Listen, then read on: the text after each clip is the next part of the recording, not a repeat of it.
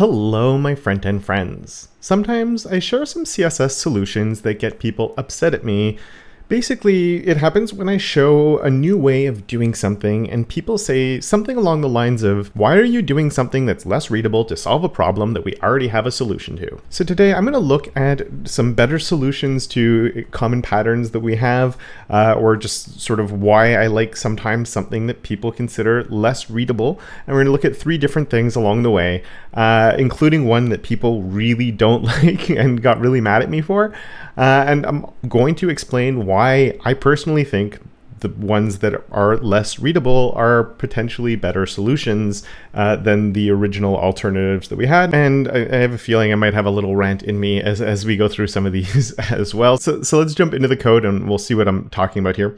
Uh, and the first one here is actually the first thing that people got kind of upset at me for, which was when I talked about how we can do this new type of wrapper, which is, you know, uh, doing, or it's not even a new type of wrapper, but it's just, you know, we have the wrapper the traditional way, which is when you do a, a max width on something, margin inline auto, which, you know, maybe the margin zero auto is even the more traditional way of doing it.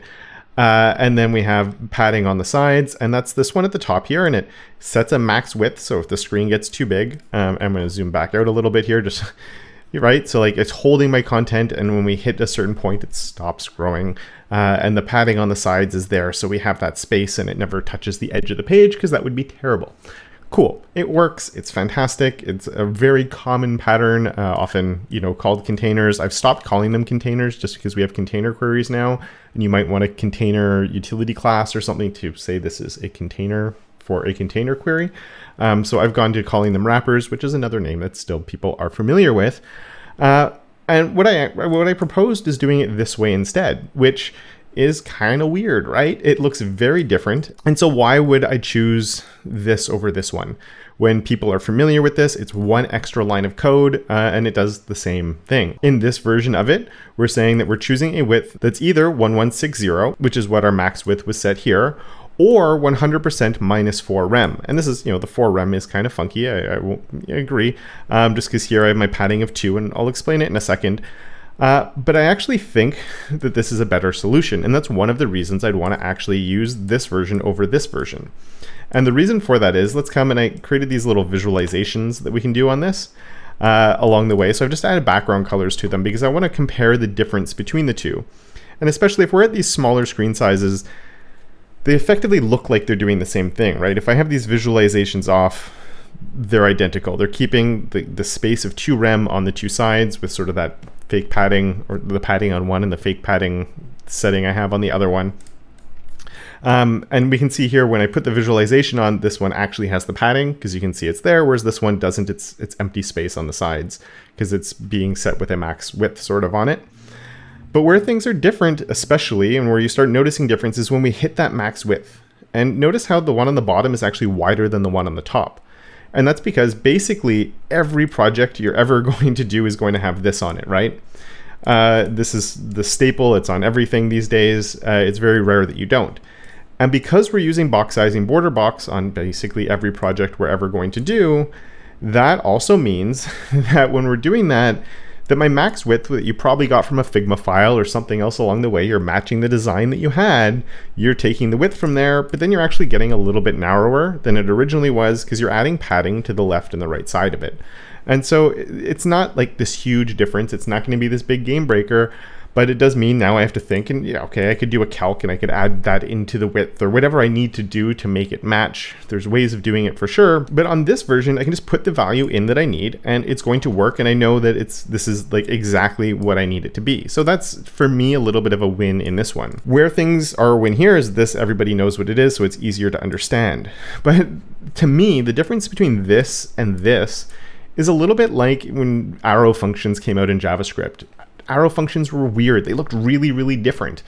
Uh, and they're a little bit different and they have their own little things, but like, did people not use arrow functions just because they weren't familiar with them? If you weren't familiar with what an arrow function was and you came across that in a code base, you'd have no idea what's going on. If you were just used to doing functions in a more traditional way, what the hell is that, right? So the same thing here. This is a different way of achieving something that's similar to this, and the only reason it looks weird and it's unreadable is because you've never seen it before. That's all, that's like really the only difference that's coming in, and I personally probably wouldn't even write it like this in the code base. I have this used in a lot of the code that I do, and whenever I do it, I have a content max width, right? 1160. And then I come here and I do var content, max width. And so like, I don't need to know what's really going on. And then as far as like this number here, you can just come in here and you can set that up as a variable too. And, and this is a variable that I always have trouble with because I've always called, I, have often called it padding uh, inline or something like that. Uh, and I'll do to rem and then um, I'll come and set that up here, but it's not really padding. And this is where one of the things when I shared this, people like, it's not the same thing because it's not padding. It's your max width is 100% minus four. So there's no padding on it. Like we can see there, there's no padding on this one, which is the good thing about it. I don't want padding on there if I don't need to have padding on there. I think that's another win for this pattern.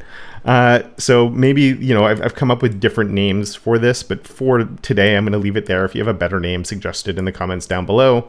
Um, but then all I have to do is come here and do and uh, my var padding inline.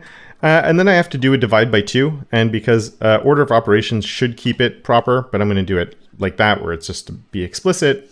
And like 100% now, I've just went and created this really like sort of complicated line of CSS that when you first come across it, you go, I don't really get it but is it really a complicated line of CSS? because if I wanted to use this new wrapper and I came across this, first of all, it's gonna be documented somewhere probably in the code base going like, you know, this is to hold my content, whatever. You'll have hopefully have a good thing. I'm gonna see this and I'm gonna know what it does and I'm gonna know how I can change it. So like from a readability perspective, maybe it's a little bit more complicated if I want to get into this code and start reading it and understanding what's happening there. But from a maintenance perspective, is it harder? I don't think so. I think in a sense, maybe it's easier because I'm saying exactly what I want these two things to be. I don't have to worry about someone understanding like, you know, again, this is pretty straightforward, I guess, as well. But this is setting my max width, this is setting my inline. Who cares what's going on here? People are going to say, oh, it's harder to maintain because it's less readable. No, it isn't, because you're not going to come in here and you're not going to change what this is doing. This is just doing this one job. It's doing it really well. And the only things that matter are these two lines right here. The rest of it could be absolutely anything. You could have 100 lines. As long as this is what the person cares about when they use it, and if they need to make a change to it, then that's fine and it's perfectly maintainable. And just because it looks different doesn't mean that it's bad, right? It's unfamiliar. Unfamiliar doesn't mean bad. And another example here we're going to get into uh, on this front is this sidebar switcher thing that I'm going to look at here. And let's go, so just really fast, I've set this up. So, and I've, I've put some sizing down here at the bottom, and I'm gonna get my face out of the way for this one so we can see everything that's going on. So here I've set it up, I have my main with sidebar, and I've set up a breakpoint. So if I come and I, I shrink this down, this parent width, when it hits that 750 pixels, we're gonna hit, uh, I should not highlight that one, maybe I'll highlight these two. Um, but yeah, when this one here hits 750 roughly, you can see that it breaks and it goes like that how I've done this. There's no media queries involved. There's nothing else involved. This idea comes from um, Every Layout by Heydon Pickering and Andy Bell. I'll link to it down below. And it's kind of hacky way of using Flexbox. It looks super weird, right? Um, what I'm doing here is not something you'd normally come across. And this is hard to understand, 100% but it works. and so what's the problem with it? Because if I want to use this in a website, I'm gonna have a main with sidebar. The main area is going to be on the left, the sidebar is on the right. You could always have a modifier class or something that allow you to switch them or whatever you want. Um, and, and how you'd set that up. But the main thing is, it, it, works, and all I care about is this breakpoint. It doesn't matter how much complicated stuff is going on somewhere else, because if I need to maintain this, I want to change potentially my breakpoint or potentially my gap. And there's probably nothing else that would ever have to get changed here. If you needed something that's all of a sudden three columns, you're making a new component anyway. You're not coming in and modifying the main plus sidebar. You're doing something different. So how this is working, if it's working well, then who cares? And you might be saying, well, Kevin, this you could do with container queries now, which 100% you could. And you could probably argue, here it is, that this is more readable. I do a display of flex, and then I have when my width on the container is more than 750, uh, I'm going to break and change the flex direction. And in this case, I have set my wrapper up to be my container type inline size. So that's going to be the thing. And once again, if you look at the parent width on this one, when it hits that 750, we're going to get to the point right around there when it's going to break. So it works exactly the same way. So first of all, my other one has perfect browser support. As long as Flexbox is supported, that other one will work, whereas this is container queries. Uh, though container queries are now at over 90% support, so maybe you have a good argument for going this way and people will come across this and it's maybe a little bit easier to understand. What I actually think is this one's more maintainable because I have one class and everything is controlled here. We can't use uh, custom properties inside of these types of things. So like if ever I had, I might want to use this somewhere else where I actually need to change this value. I don't have to come in with a new container query. I can just update, you know, main with sidebar, narrow or wide or in a different thing or whatever it is, or I use JavaScript or an inline style and I can just change my breakpoint. So I actually think this is more usable even if it's harder to go into the code and read it, I think it's more usable and more maintainable uh, than this one is, just because of this separation and just basically, uh, you know, having to have this. But there's also this other advantage to it, which is when I come over to here, uh, this is a second version of it, where what I've done is instead of the breakpoint being based on the parent's width, the breakpoint is now based on the main's minimum size. So it's completely based on this. So if you look here, the main min width or the main width on that one, so that is going to break when that one hits 750. So it's happening right there. It's not happening based on the parent size. It's 100% based on the container inside, which is something you cannot do with container queries. Uh, and it's a little bit complicated on how we do it. The math is kind of weird, and we're using this Flexbox thing. We're pushing it to the limits a little bit, but that's fine. Because again, I'm not going to have to come in here and make any changes to this. The only things I care about are these three values. And the gap is important in this one just because it comes into the math on when things are happening. It would it wouldn't change much if you just had a set gap, but I sort of I use the gap value in here to make sure we're closer to the the actual point of this being the right size. And so it is kind of weird to do it and it takes a little bit of thinking to set it up.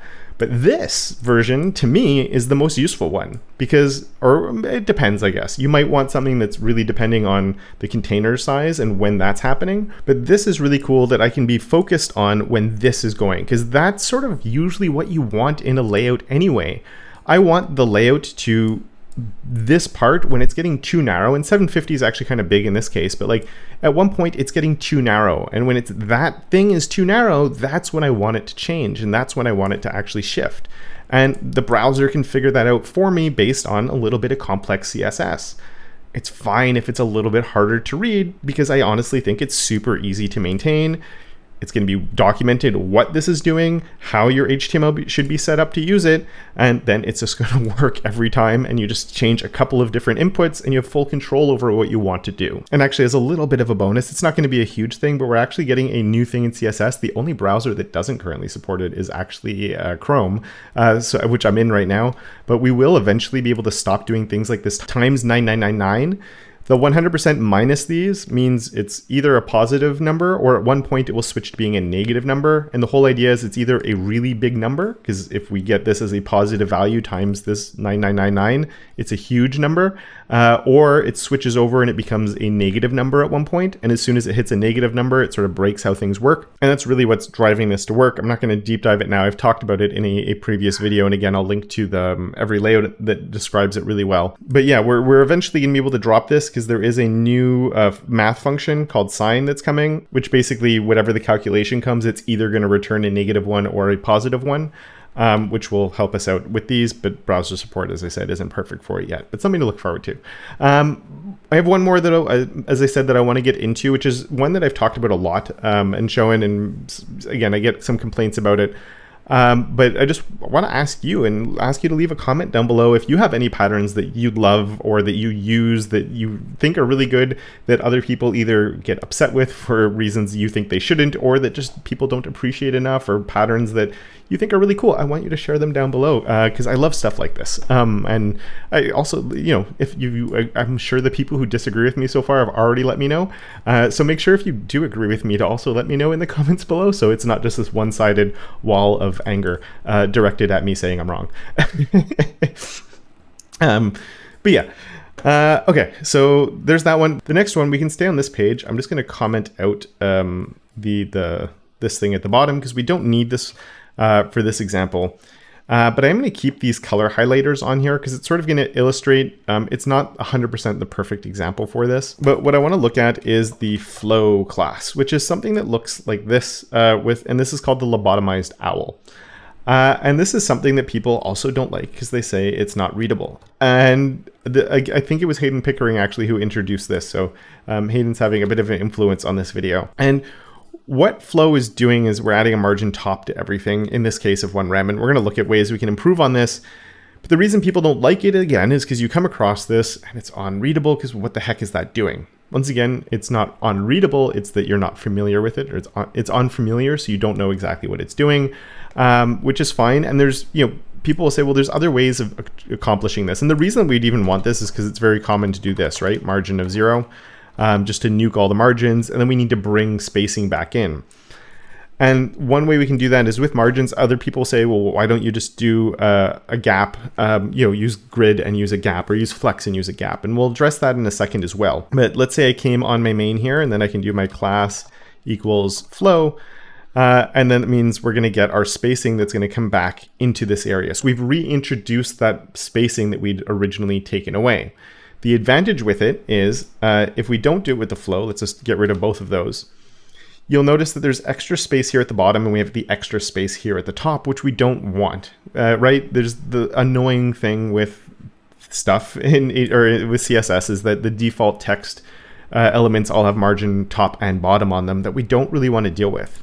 And what this is doing is it's removing, we're removing all the margins and then we're adding it back to the top of every element except for the first element in something that has it. And what people do say is, well, instead of doing that, an alternative that we could do is to do flow and then do uh, not uh, first child, first child. And these are equivalent to one another. They do, you know, this selector and this selector are doing the exact same thing. They're selecting all of the children in here except for the first child, and then we could add our margin top. So why is this one better than that one? Because this one is definitely more readable. The problem with this, and I've used it because I went, you know what, maybe people are right. Let's do something that would be easier to understand what's going on, is this introduces some specificity issues. Uh, and that's just because you know the the not doesn't count towards specificity, but this does. And I've actually ran into issues with using this because of the specificity that this comes in with, because now we have two class selectors effectively, because um, pseudo selectors like this count as class or they're the same level as a class selector. Now I could nuke that. I could come in here and I could do a where, uh, not first child. and that would actually remove that specificity again. But now I just find we're, we're re-entering into the world of, you know, is this easy to understand either. Where not first child. I guess you could figure it out. It's not the end of the world. Maybe you prefer that. If you want to do that, you could. You could even, I guess, come in and just nuke the specificity from it completely by doing something like that. Uh, especially because the star selector doesn't have any either. I just find like we're getting into this realm of like this works, it's fine. It's really easy to document what it's doing. So like if I come across this, yeah, this looks really weird, but hopefully I'm not just randomly finding this somewhere. I'm coming across something. It's like I use my flow to reintroduce flow spacing with like a quick example of it or something. And the reason we want margin top and not margin bottom, because people always tell me to do the same thing but with margin bottom and then do like a not last child instead. We don't want to do that. And for one very specific reason is let's come in here with an H2, uh, just, I don't know, lorem 5, so we have a little bit of text in there. And proper typography doesn't have equal spacing on the top and the bottom uh, of elements. You want more space here than you have here. And just to exaggerate this a little bit, let's say my H2 has a font size of, uh, I don't know, 3 rem, and I might need an important on that. Oh, no, we don't. Okay, so because we're using em here for my margin top, this is getting a 3 rem of spacing on the top of it, and it only has this one here is a 1 rem of spacing on the bottom of it, or whatever, based on my paragraph font size on the bottom of it. So it's reintroducing flow spacing, and this is what proper typography does. You have more space above headings than you do below them because it's just this idea of proximity and design. If you talk to any designer, they're going to agree with me. Um, and that's the reason we don't want to use and come in here with rem instead, because rem would just get all equal spacing. It's just not the proper flow from a design perspective. And that's the same reason I wouldn't want to come in and just, you know, get rid of this. Uh, let's do it like this and do a display of grid with a gap of one rem or something like that uh, this does solve that problem. There are times where I do this. I might have a card where I just need equal spacing, then this is completely fine. But if it's articles or content that has different size of headings and you need a proper flow to what's actually going in there, you need a way to sort of reintroduce that original flow that the document had, but in a little bit of a better way. And you do that through margin top instead of margin bottom. Jumping back to having it like this, it's not a complicated one to have. You can even come in here and do it once again with a flow space or flow spacer, whatever you want want to call it. And you can even come in with like a default value. So it's just going to work every time you use it. But then if you do need to have somewhere that has a different size, I could come on this main and I could have a style is equal to and do flow space is uh, 0.25 m or something and make my spacing. Uh, why didn't that work? Oh, flow spacer. There we go. Make that much smaller or much bigger, whatever you need um, through this, through you, you know, uh, uh, modifier classes, whatever you want, and it brings that in. It's weird looking once you understand it. It doesn't really matter too much. At least that's my own opinion of it. And like, just just one last thing here, also is like people are saying things like this might be a little bit unreadable or you know uh, the other things we were looking at there with the sidebars maybe this is unreadable but then they're going to make like an even column system using display flex. And then you know how often do you see where you have a row is uh, display flex, and then you have to go and do like a row children and a flex one to get them all to be equal columns. Like this is something that's pretty much widely accepted is completely fine, or maybe even it's just a dot call and they get a flex one, so they're all the same size. Uh, why is something like this considered readable and fine when like can someone tell me what this is doing i understand what flex 1 is doing most people just go well it's making equal columns well that's not obvious if i were to come across this and i didn't know that that's to me just as unreadable as seeing uh, you know how i'd set this original part up with some of this weird stuff here flex 1 why is that making equal columns? Most people probably don't even know how Flex 1 is actually working. They just know that it gets their goal done. So, you know, readability is completely subjective to what you understand and what you know about what you're coming across. And there's the big difference between readability and maintenance and making something that you can maintain whether or not the code is complicated or not. Because especially with css the thing is doing one thing one thing only and as long as it can do that job, you're not going to be going in and making a whole bunch of changes to that. You're going to be tweaking the parameters that that thing is meant to control, which is how those custom properties can come in and make things work well. And actually, speaking of Flex 1, I do bring it up for a reason, because if you are curious about how it works, I've actually talked about it in a previous video. It's probably a lot more weird than you actually expect. Uh, and if you're curious about that, you can find that in the video that is right here. And with that, I would like to thank my enablers of awesome, Andrew, Simon, Tim, and Johnny, as well as all my other patrons for their monthly support. And of course, until next time, don't forget to make your corner of the internet just a little bit more awesome.